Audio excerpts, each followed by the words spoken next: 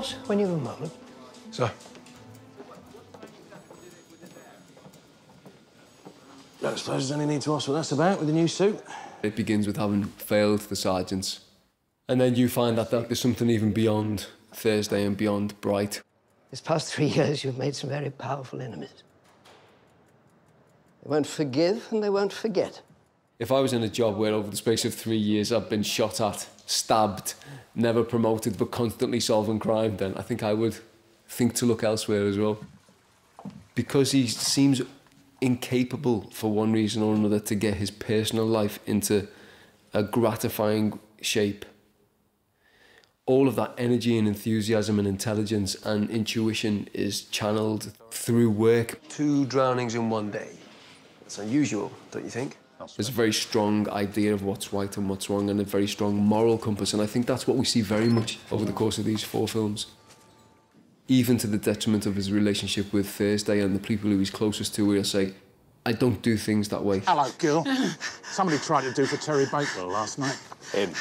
I want to know who he is, where he is, and which shite ought to take the job.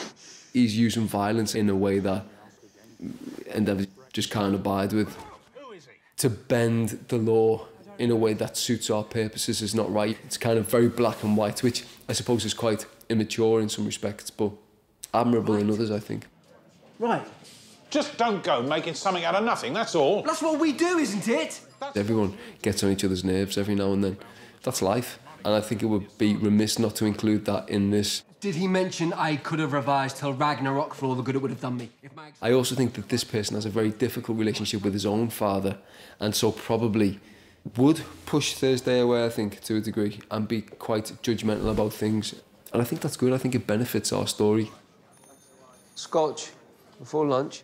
Also, Thursday is going through a lot in it because Joan's left home, Sam has left home, and it's affecting his work. If this is a person who likes to solve crosswords, whose mind works in that way, then of course it's a particular type of person who would solve crimes in a slightly different way, or solve puzzles, I suppose. Who does get affected.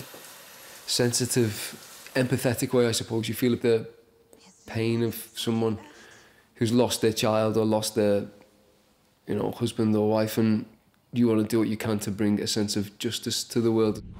Kind of one of the joys of playing this part as well. First one we've got, it's set in Oxford. A Russian grandmaster's coming over to play chess against a machine.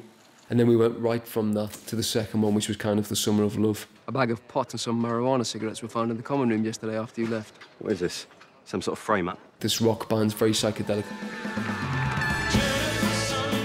Would you like some wine? No, thank you. And then the third one is completely sterile. It's in a hospital, lots of nurses, doctors. It's a very particular look. Well, there's no great mystery.